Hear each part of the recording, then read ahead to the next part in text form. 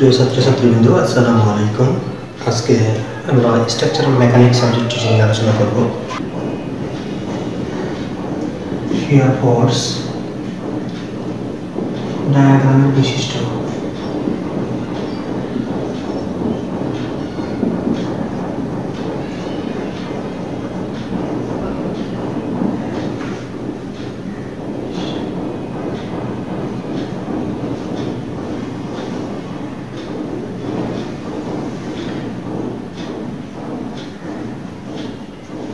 আচ্ছা share force bending ডায়াগ্রামের মধ্যে বৈশিষ্ট্য।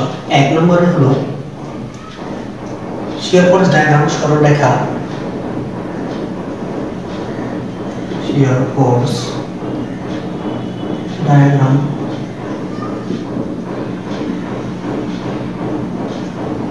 সরল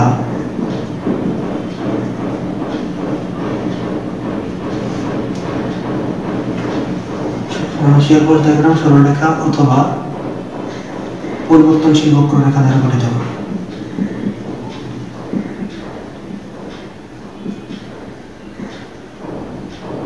বক্ররেখা দ্বারা গঠিত। দুই নম্বরে ধনাত্মক ধনাত্মক শেয়ার shear force রেফারেন্স লাইনের উপরে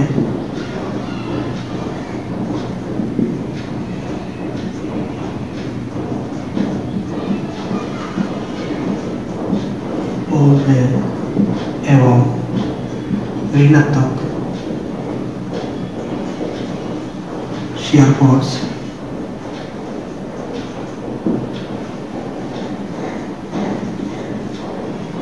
রেফারেন্স লাইনের নিচে অবস্থান করে লাইনের নিচে অবস্থান করে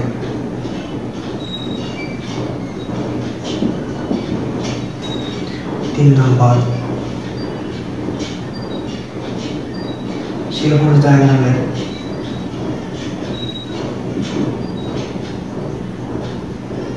shear force diagram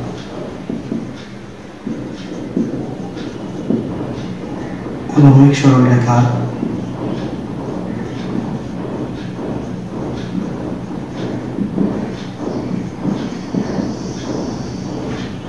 বিয়ের পর মরশুম অবস্থা নির্দেশ করে।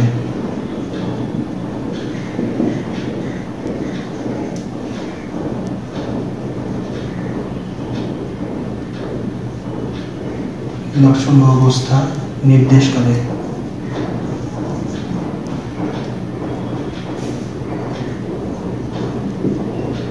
চার নম্বর শিয়ার ফোর্স ডায়াগ্রামে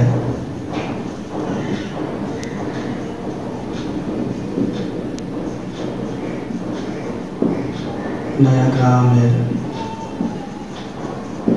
শিয়ার ফোর্স ডায়াগ্রামের উলম্ব রেখা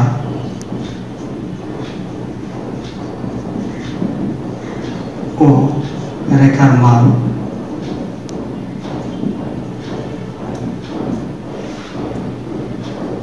কেন্দ্রীভূত লট নির্দেশ করে কেন্দ্রীভূত লট এবং লোডের পরিমাণ নির্দেশ করে।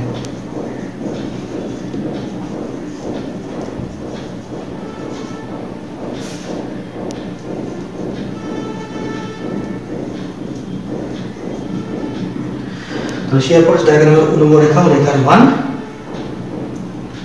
কেন্দ্রীভূত লোড এবং লোডের পরিমাণ নির্দেশ করে। তারপর থাকতেছে শিয়ার ফোর্স ডায়াগ্রামে। শিয়ার ফোর্স ডায়াগ্রামের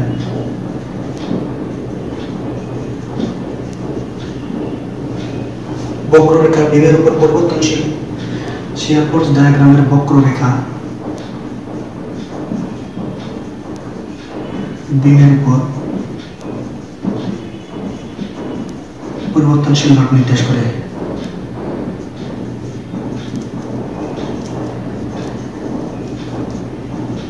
লট নির্দেশ করে।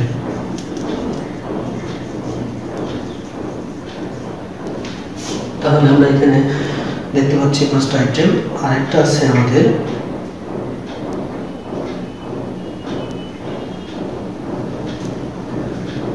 ছয় নম্বরে ফোর্স ডায়াগ্রামে হেলানো সরলরেখা শেয়ার ফোর্স ডায়াগ্রামে হেলানো সরলরেখা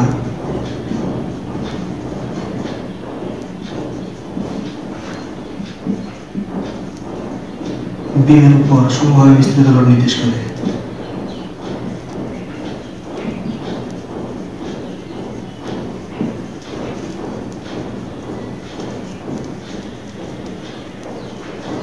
নির্দেশ করে। এই ছিল আমাদের শেয়ার ফোর্স ডায়াগ্রামের বৈশিষ্ট্য। এখন আমরা দেবো বেনিকমের ডায়াগ্রামের বৈশিষ্ট্য।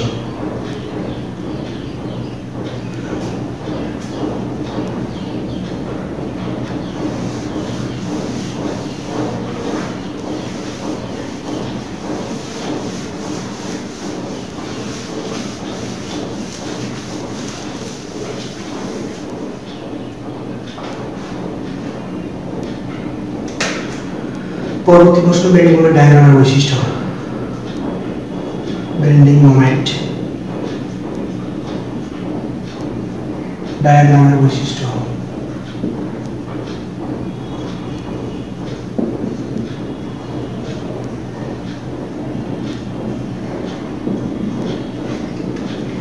এক number bending moment diagram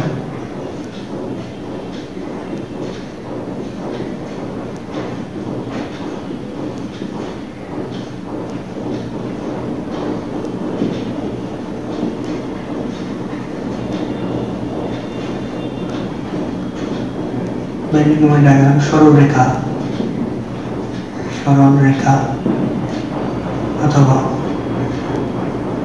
মসৃণ বক্ররেখা দ্বারা গঠিত। মসৃণ বক্ররেখা দ্বারা গঠিত।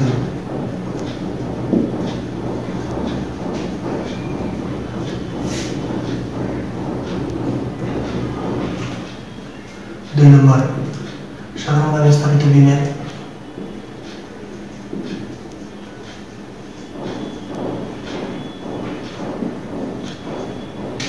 বিমের উভয় প্রান্তে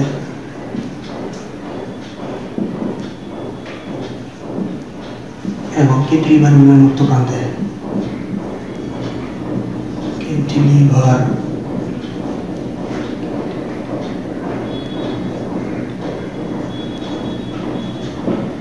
বিমের মুক্ত প্রান্তে।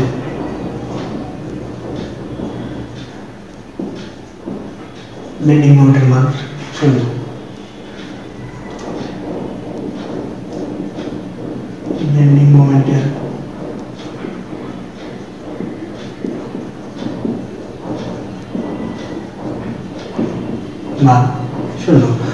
সাধারণভাবে স্থাপিত বিমের উভয় প্রান্তে এবং ক্যান্টিলিভার বিমের মুক্ত প্রান্তে বেন্ডিং মোমেন্টের মান শূন্য তারপরে আসি বেন্ডিং ডায়াগ্রামের বেন্ডিং মোমেন্ট ডায়াগ্রামের হেলানো সরলরেখা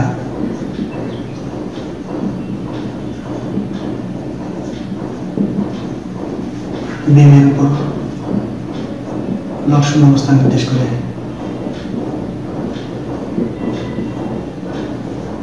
শূন্য অবস্থা নির্দেশ করে।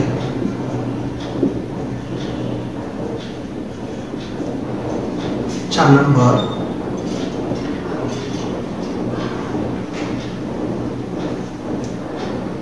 ডায়াগ্রামের মসৃণ বক্ররেখা।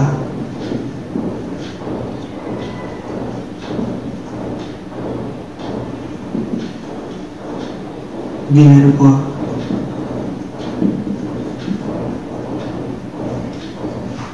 সময় বিস্তৃত নির্দেশ করে।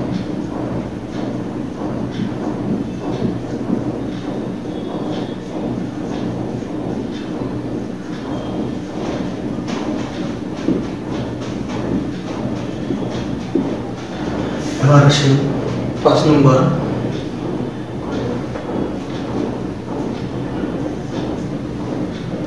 ডায়াগ্রামের পরিবর্তনশীল বক্ররেখা।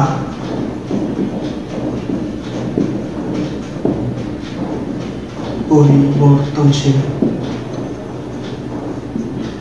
বক্ররেখা। বিমের উপর ত্রিভুজাকৃতির নাম নির্দেশ করে ত্রিভুজাকার লড নির্দেশ করে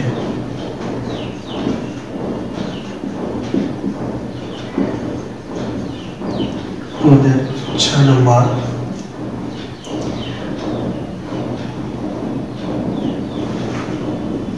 মেরিমোমেন্ট ডায়াগ্রামের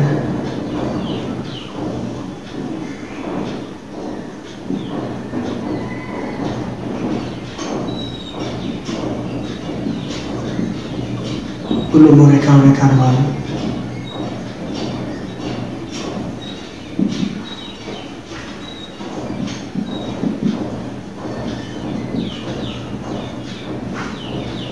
বিমের উপর বিশুদ্ধ মনে নির্দেশ করে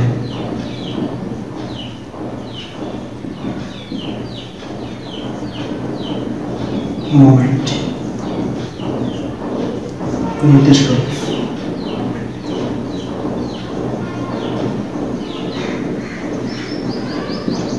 তাহলে আমরা দেখলাম বেন্ডিং ডায়াগ্রামের বৈশিষ্ট্য তাহলে প্রথম বৈশিষ্ট্য হচ্ছে বেন্ডিং ডায়াগ্রামের সরলরেখা অথবা মসৃণ বক্ররেখা দ্বারা গঠিত হতে পারে।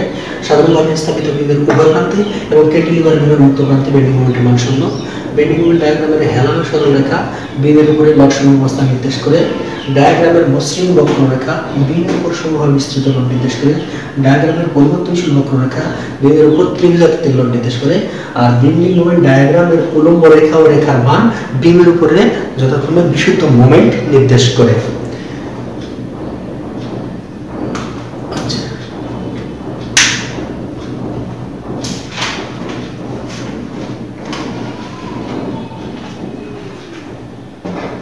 এছাড়াও আমাদের আরও কিছু কিছু বিষয় একটু দেখতে হবে। বাসায় আমরা সবাই বই থেকে একটু দেখে নিব।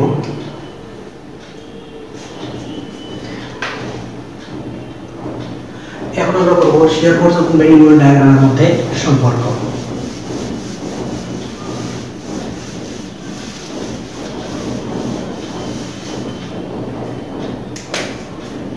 আমাদের পরবর্তী প্রশ্ন হচ্ছে শেয়ার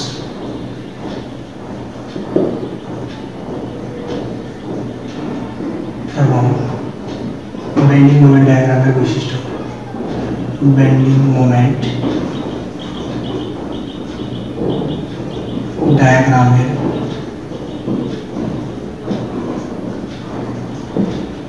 শেয়ার ফোর্স এবং বেন্ডিং মোমেন্ট ডায়াগ্রামের মধ্যে সম্পর্ক।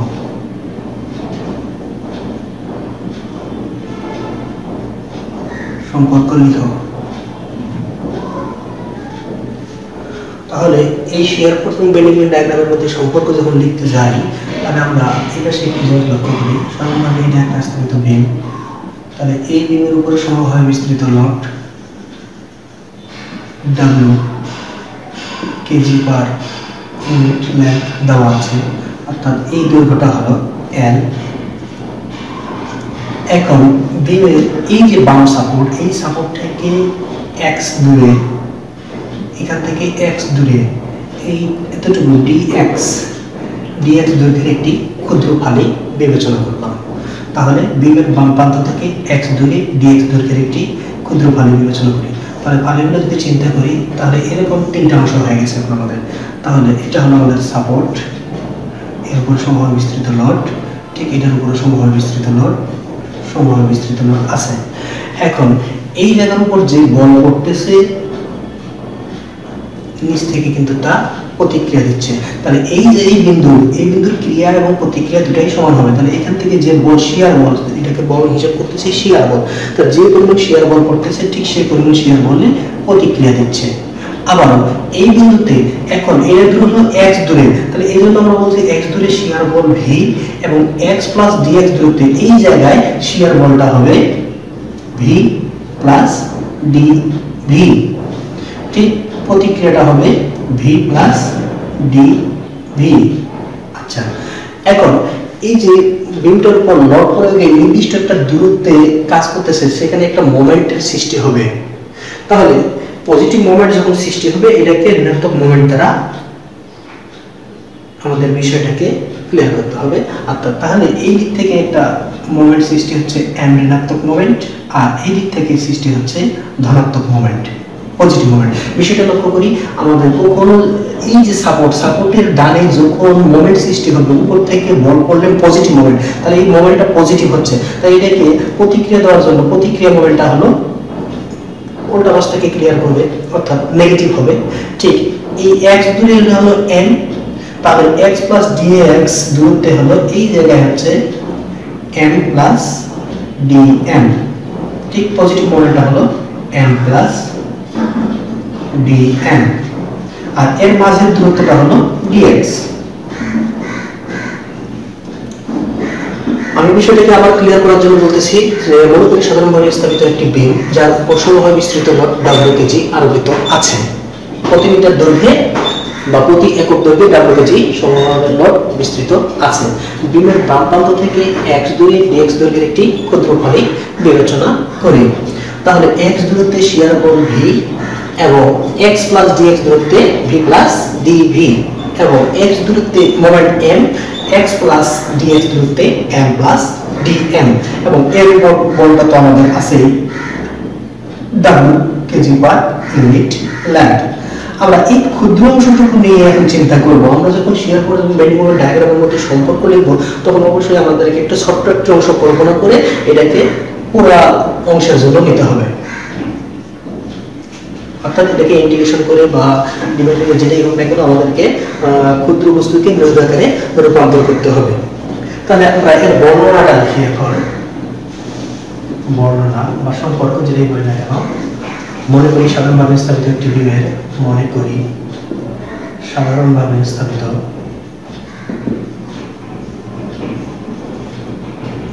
মনে করি সাধারণভাবে স্থাপিত এল দৈর্ঘ্যের একটি বিমের উপর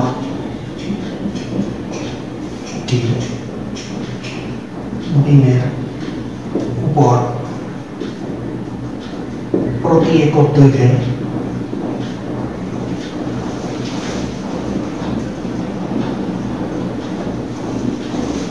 কেজি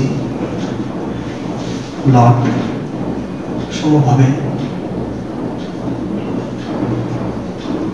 আরোপিত আছে বা বিস্তৃত আছে।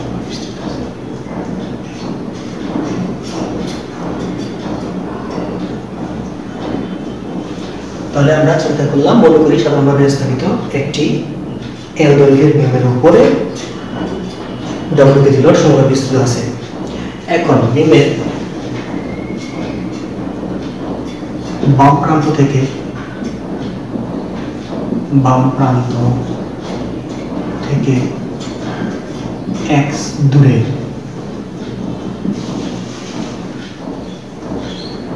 এক্স দূরে ডিএক্স দৈর্ঘ্যের একটি ক্ষুদ্র পালি বিবেচনা করি। ক্ষুদ্র পালি বিবেচনা করি।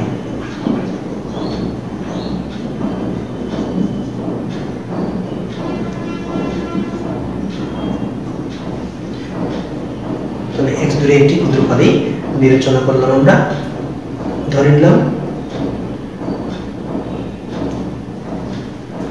এখন বিমের এক্স দূরে, বিমের এক্স দূরে শিয়ার বল শিয়ার বল ভি এবং x plus dx দূরে শিয়ার বল v প্লাস dv মোমেন্টটা আমরা সঙ্গে সঙ্গে মুভমেন্ট করে নিই।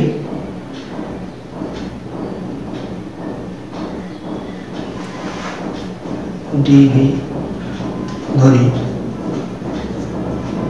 ডিএক্স অংশ সাম্যাবস্থায় আছে।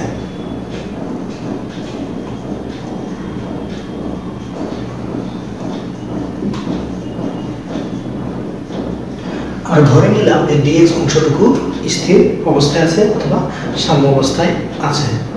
তাহলে এই সাম্য অবস্থার জন্য এক্স দূরে এর মোমেন্টটা হলো এক্স দূরে মোমেন্ট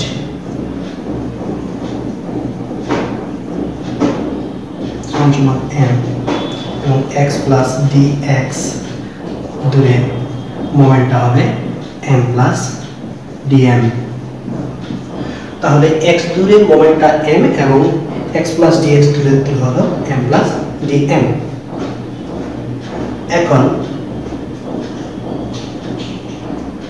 ডিএক্স দৈর্ঘ্যের সি বিন্দুতে মোমেন্ট নিয়ে পাই। যেহেতু স্থির অবস্থায় আছে তো সি বিন্দুতে মোমেন্ট নিয়ে পাই।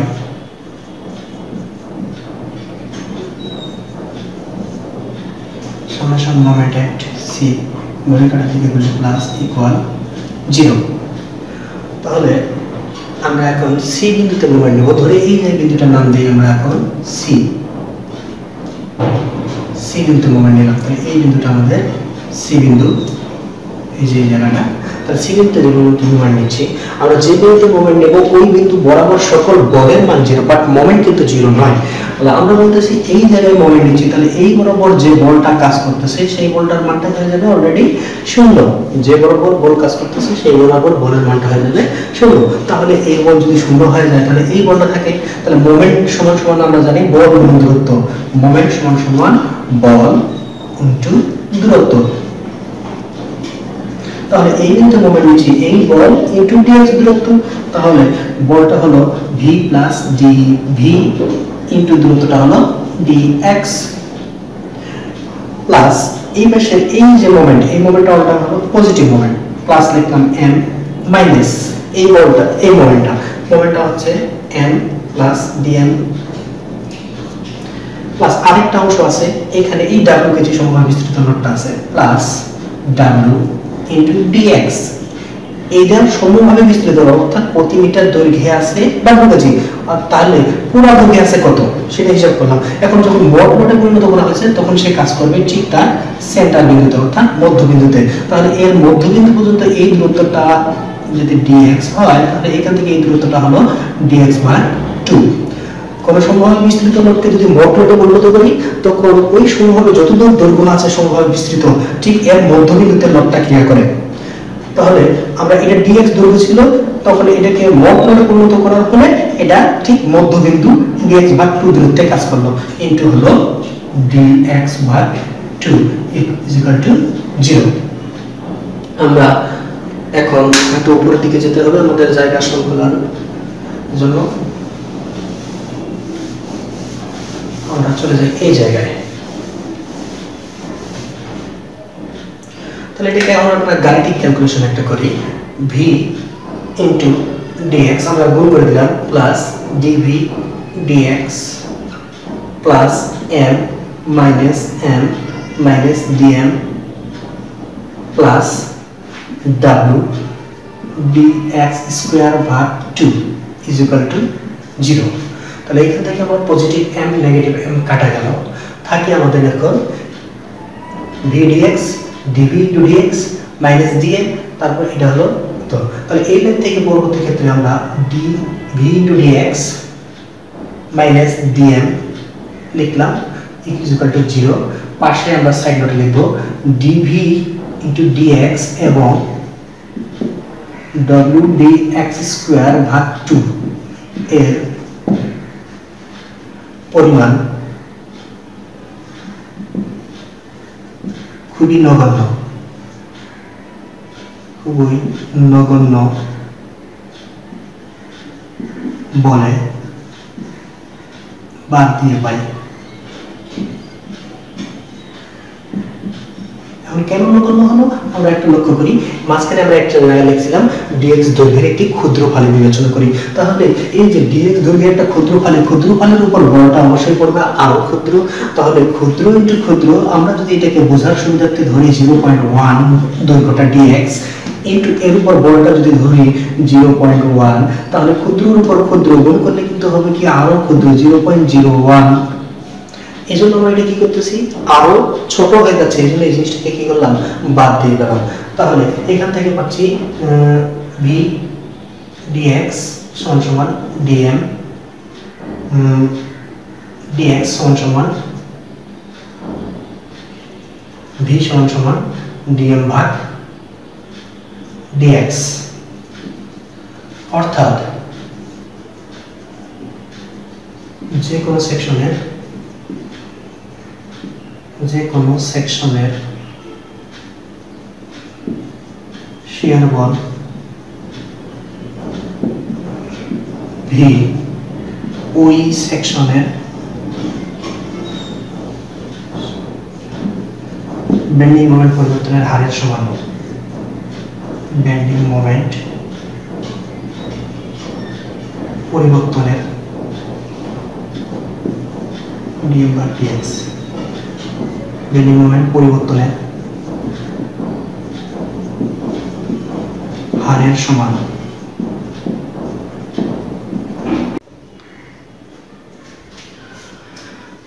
এসএড ডিভিএনডি অঙ্কগুলো করতে গেলে আমাদের বিমের উপরে কিছু লোড আসতে পারে। এই ধরনের লোড আমরা এই যে লোডগুলো দেখতেছি, এগুলা এছাড়া আরও অন্যান্য ধরনের লোড আসতে পারে। তাহলে আমরা এই কয়টার আইডিয়া নিলে মোটামুটি সলিউশন করতে পারব। তাহলে এই ধরনের লোডিং প্যাটার্নগুলো দেওয়া থাকবে আমাদের এগুলোকে ভাঙায়া ফ্রি বডি ডায়াগ্রামে রূপান্তর করতে হবে। যতক্ষণ না ফ্রি বডি ডায়াগ্রাম অঙ্কন করব, ততক্ষণ পর্যন্ত আমাদের অঙ্ক করা খুবই জটিল হয়ে যাবে। এই জন্য আমরা করব কি? বিমের উপর এই ধরনের লট দেওয়া থাকবে। এইগুলো হলো সবগুলো লট। এই জন্য আমি এই লট দিয়ে দেখাই দিচ্ছি এই লট। আর আমরা ফ্রি ডায়াগ্রাম এখন বর্তমানে অঙ্কন করব। তাহলে এটার জন্য আমরা প্রথমত লাগবে কি? আমরা জানি মোমেন্ট সমান বল গুণন দূরত্ব বলটা যদি হয় উলম্ব বল, সেক্ষেত্রে দূরত্বটা হবে আনুভূমিক দূরত্ব। ইন্টু হলো আনুভূমিক দূরত্ব।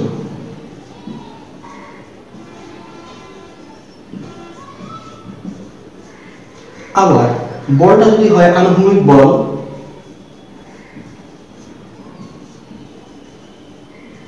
সেক্ষেত্রে দূরত্ব হবে উলম্ব দূরত্ব।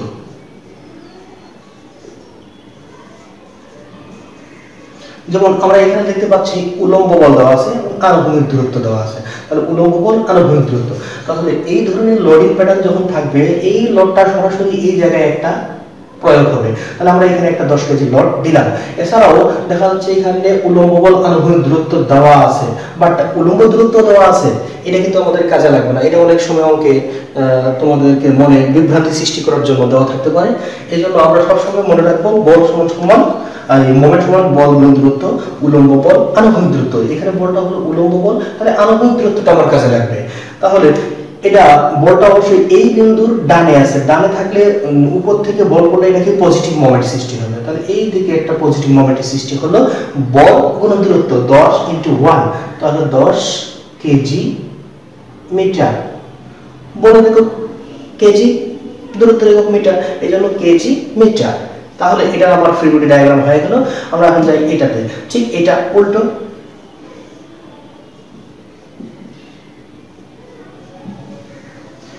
সরাসরি এখানে দশ কেজি বল প্রয়োগ হবে এবং এটা ঘড়ির কাটার বিপরীত দিকে, উলম্ব বল আনুভূমিক দূরত্ব। এখন এটা আছে এই যে বিন্দুর বামে, হাতের বাম পাশের উপর থেকে বল পড়লে, যে বিন্দুটা চিন্তা করছি, এই বিন্দুর বামের উপর থেকে বল পড়লে বলটা হবে কি নেগেটিভ। তাহলে এই দিকে বলটা হচ্ছে আমাদের মোমেন্টটা সৃষ্টি হচ্ছে দশ কেজি মিটার নেগেটিভ মোমেন্ট। ঠিক, এখন এটাতে আসি। তাহলে এই ধরনের বলের ক্ষেত্রে এখানে কিন্তু আর আগের মতো নাই। এখানে সরাসরি দেওয়া আছে আনুভূমিক বল উলম্ব দূরত্ব আমি এখানে লিখলাম আনুভূমিক বল উলম্ব দূরত্ব তাহলে আনুভূমিক বল উলম্ব দূরত্ব তার মানে এখানে সরাসরি একটা এই বিন্দুতে একটা নেগেটিভ মোমেন্টের সৃষ্টি হবে। দশ ইন্টু টু দশ ইন্টু টু বিশ কেজি মিটার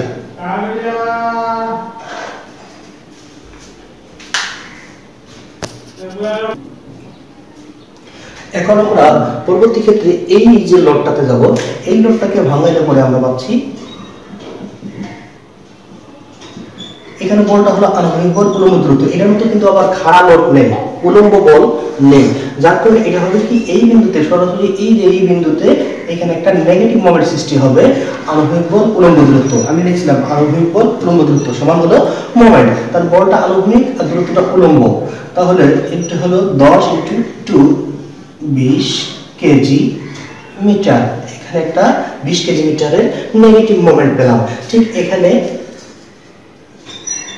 এটাকে যদি আমরা লোড প্যাটার্নটাকে রূপান্তর করি, দেখা যাচ্ছে এই দিক থেকে ঠেলে ডান দিকে নিয়ে যাচ্ছে, অর্থাৎ ধীরে ধীরে এই দিক থেকে ঘুরে এদিকে আসবে। অর্থাৎ এই বিন্দুতে একটা পজিটিভ মোমেন্টের সৃষ্টি হবে দশ ইন্টু টু বিশ কেজি মিটার। এরপরে আমরা আসি এই জায়গায়। এখন এটার উপরে কি অবস্থা হবে? তাহলে এটার জন্য আমরা এদিকে একটু অঙ্কন করলাম। তাহলে এই বিন্দুটাকে মূলত এই জায়গায় চিন্তা করলাম। আমি একটু সরে গেলাম, কারণ এই জায়গাটা লিখছি।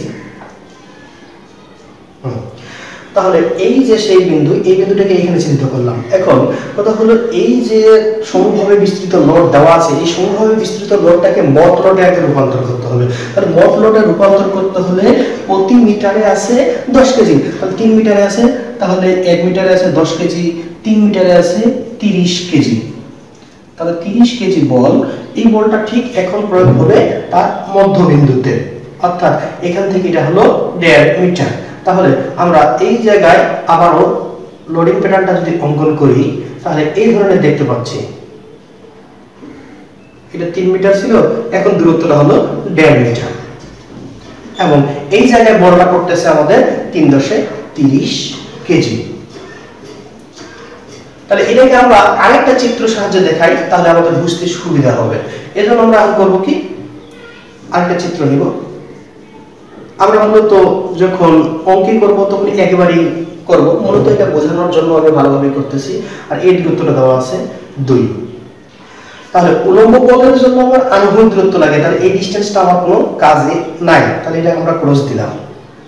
তাহলে এখানে সরাসরি একটা 30 কেজি বল প্রয়োগ হবে এবং এই জায়গায় একটা মোমেন্টের সৃষ্টি হবে, এই বিন্দু মোমেন্ট উলম্ব কোণ, আনুভূমিক দূরত্ব। অবশ্যই ডান পাশে আছে এই বিন্দুর ডান পাশে, তার মানে পজিটিভ মোমেন্টের সৃষ্টি হবে। তাহলে বলটা হচ্ছে 30 ইনটু দূরত্বটা হলো 15 is equal to 45 KG metre. ঠিক, এখন পরবর্তী ক্ষেত্রে যাই, এই জায়গায় দেখা যাচ্ছে একটা কাপল দেওয়া আছে।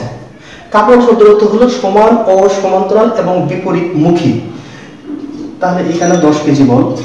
সমান সমান্তরাল ও বিপরীতমুখী। এখানে দেওয়া হচ্ছে দশ কেজি, এখানেও দশ কেজি, সমান। এবং সমান্তরাল এই কাজ করতেছে। এবং দুইটার মুখ কিন্তু বিপরীত দিকে। এবং একই বিন্দুতে ক্রিয়াশীল নয়। একটি সরল রেখা আছে, বাট এই বিন্দুটি ক্রিয়াশীল নয়। তাহলে এই বিন্দুটাকে যদি আমরা ফ্রিবডি ডায়াগ্রামে রূপান্তর করি, তাহলে এই বিষয়টা হলো এ, এই দিকে ঘোরাচ্ছে, আবার এও এই দিকে ঘোরাচ্ছে। এও ঘড়ি কাটার দিকে ঘোরাচ্ছে, এটাও ঘড়ি কাটার দিকে ঘোরাচ্ছে। অর্থাৎ দুটাই কি হবে? পজিটিভ মোমেন্টের সৃষ্টি হবে। তাহলে দুটাই যখন এক, তখন আমরা এটাকে কাজ করতে পারি দশ ইন্টু টু দশ ইন্টু টু প্লাস দশ ইন্টু টু এখানে আনুভূমিক বল উলম্ব সরি আনুভূমিক বল উলম্ব দূরত্ব হওয়ার কথা, তাহলে উলম্ব দূরত্ব ওয়ান ভুল হওয়ার সম্ভাবনা সম্ভাবনাগুলো এই জায়গায় আমরা সবসময় মনে রাখব আনুভূমিক বল উলম্ব দূরত্ব এই যে বলটা হলো দশ কেজি, তাহলে উলম্ব দূরত্ব আনুভূমিক বল উলম্ব দূরত্ব ঠিক একইভাবে আনুভূমিক বল উলম্ব দূরত্ব। এই যে আনুভূমিক দূরত্বটার কোনো কাজ এখানে আমাদের নেই। যার কারণে আমরা দশ ইন্টু ওয়ান প্লাস দশ ইন্টু ওয়ান অর্থাৎ এখানে বিশ কেজি মিটার একটা মোমেন্ট পেলাম পজিটিভ মোমেন্ট ঠিক একইভাবে এটাতে যদি আমরা ফ্রি বডি ডায়াগ্রাম অঙ্কন করি, তাহলে এটার ক্ষেত্রে আমরা একটু লক্ষ্য করি, এটা কি ধরনের হতে পারে? এখানে দেখা যাচ্ছে উপর থেকে বিশ কেজি, নিচ থেকে আবার পনেরো কেজি। এখানে ডিস্টেন্স হলো ওয়ান পয়েন্ট ফাইভ মিটার এখানে one point five metre but এই জায়গার আনুভূমিক ডিস্টেন্স দুই, এই জায়গার আনুভূমিক ডিস্টেন্স হলো ওয়ান পয়েন্ট ফাইভ তাহলে এই বিন্দুতে আমাদের সরাসরি যে লোডটা পড়বে, এই লোডটা কত? তার লোডটা হচ্ছে বিশ কেজি একটা লোড পড়বে, আবার নিচ থেকে একটা ঠেলা দিচ্ছে। উপর থেকে পড়লে পজিটিভ নিচ থেকে ঠেলা দিলে নেগেটিভ তাহলে বলটা মূলত পড়তেছে আমাদের পাঁচ কেজি। এখন মোমেন্টটা যেটা হবে উলম্ব বল আনুভূমিক দূরত্ব ঠিক উলম্ব বল আনুভূমিক দূরত্ব তাহলে এই জায়গায় যে মোমেন্টটা সৃষ্টি হচ্ছে, দুটাই কিন্তু পজিটিভ ঘোরাচ্ছে। অর্থাৎ লক্ষ্য করি, এই বিন্দুতে মোমেন্ট যদি নেয়, তাহলে লক্ষ্য করে এই বলটা এদিকেই ঘোরাচ্ছে। তাহলে উলম্ব বল আনুভূমিক দূরত্ব তাহলে বিশ ইন্টু টু প্লাস এই বলটাও কিন্তু পজিটিভই ঘোরাচ্ছে। পনেরো ইন্টু ওয়ান পয়েন্ট ফাইভ তাহলে এটাকে আমরা একটু ক্যালকুলেশন করে নিতে পারি। আচ্ছা আমরা ক্যালকুলেশন করে বসাই নিব। আচ্ছা এরপরে এটা লোডিং প্যাটার্নটাতে চলে যাই। এটা লোডিং প্যাটার্নটা দেখতে কীরকম? এটা লোডিং প্যাটার্ন ঠিক এই বিন্দুতে 10 কেজি লক প্রয়োগ হবে এবং এই বিন্দুতে একটা পজিটিভ মোমেন্টের সৃষ্টি হবে উলম্ব বল আনুভূমিক দূরত্ব 10 ইনটু 2 এটাই গেল আমাদের 20 কেজি মিটার লোডিং প্যাটার্ন এরপরে এখানে আমাদের ইনক্লাইন ভাবে, বিমের উপরে তির্যক ভাবে লোড আসতে পারে। এই লোডগুলোর জন্য আমরা একটু ক্যালকুলেশন করব, দেখি এখন এটা ঠিক এই ধরনের। তাহলে এই লোডটাকে যদি আমরা, দেখা যাচ্ছে ঠিক এই দিকে পার করে দিচ্ছে, ধীরে ধীরে বিমের এই পাশে পার হয়ে আসবে। তাহলে একটা, এটাকে যদি বিভাজন করি, একটা বল এই পেশে যাবে, একটা বল সরাসরি এই দিকে আসবে। তাহলে এই যে একশো কেজি একটা তির্যক বল, এটাকে যখন আমরা বিভাজন করব, আমরা সব সময়ের জন্য মনে করব বলটা এই পাশে আসতেছে। এখন এই দিকে আসতেছে বড় কোনটা হলো তিরিশ, এটার সাথে। তাহলে কম যার সাথে থাকবে, তার সাথে কস নেব, আর তার বিপরীতে সাইন অর্থাৎ আমরা কথাটা বলতেছি, যার সাথে কম তার সাথে কস তার বিপরীতে সাইন তাহলে কোনটা যেহেতু আনুভূমিকের সাথে আছে, তাই আনুভূমিকের সাথে কস তাহলে একশো কস থার্টি এবং এ পাশে হলো একশো সাইন থার্টি কথাটা আমি আবারও বলতেছি, যার সাথে কোন তার সাথে কোন তার বিপরীতে সাইন। এখন যার সাথে বলতে কি, এখানে এই যে তির্যক বলটা আসতেছে, কোনটা কার সাথে? সাথে। তার সাথে আর সাথে একইভাবে উলম্বের সাথে আমার কোনটা থাকতে পারে? তার উলম্বের সাথে কস হতে হবে এবং অনুভূমিকের সাথে সাইন হবে। তাহলে এই জায়গায় আমরা এখন লক্ষ্য করি, সরাসরি এখানে বল করতেছে একশো সাইন থার্টি, অর্থাৎ পঞ্চাশ কেজি। এবং এই বলটা কি করতেছে? ঘড়ির কাটার বিপরীতে ঘোরাচ্ছে। এদিক থেকে ঘুরে এদিকে নিয়ে আসতেছে। তাহলে এখানে একটা নেগেটিভ মোমেন্টের সৃষ্টি হবে। নেগেটিভ মোমেন্টটা হবে একশো কস থার্টি ইন্টু আনুভূমিক বল দূরত্ব ইন্টু ওয়ান তাহলে এত কেজি মিটার। আমরা বাকিটা ক্যালকুলেশন করে নেব। তো আশা করি এই লোডিং প্যাটার্নগুলো বোঝা গেছে। এর থেকে আরও অন্যান্য ধরনের লোডিং প্যাটার্ন থাকবে। আমরা একটু চেষ্টা করব নিজেরাই। বাসায় করার জন্য। এই লোডিং প্যাটার্নগুলো যদি আমরা সহজে বুঝতে পারি, তাহলে আমাদের অঙ্ক খুব ইজি মনে হবে।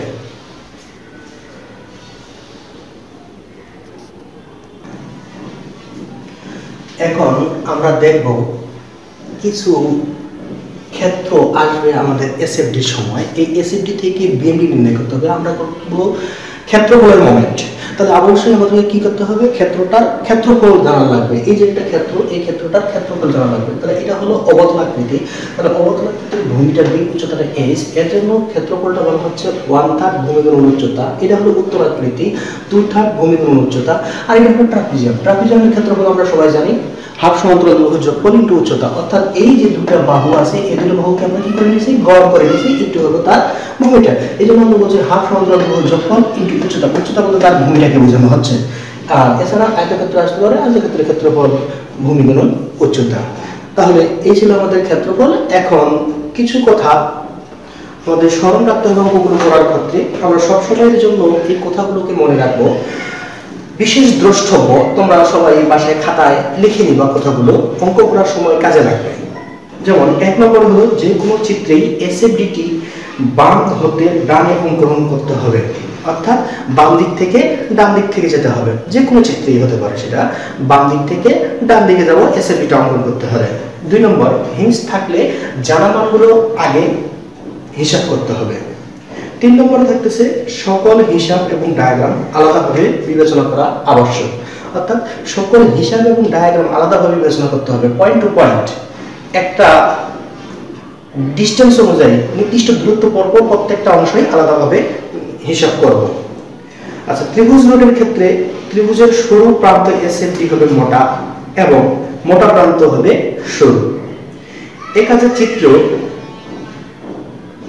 তিন ডিগ্রি উত্তল হবে এসএফডি এবং তিন ডিগ্রি অবতল হবে বিএমডি ডায়াগ্রাম অর্থাৎ ত্রিভুজ ক্ষেত্রে বললাম এসিডি ডায়াগ্রামটা হবে তিন ডিগ্রি উত্তল এবং বিএমডি ডায়াগ্রামটা হবে তিন ডিগ্রি অবতল।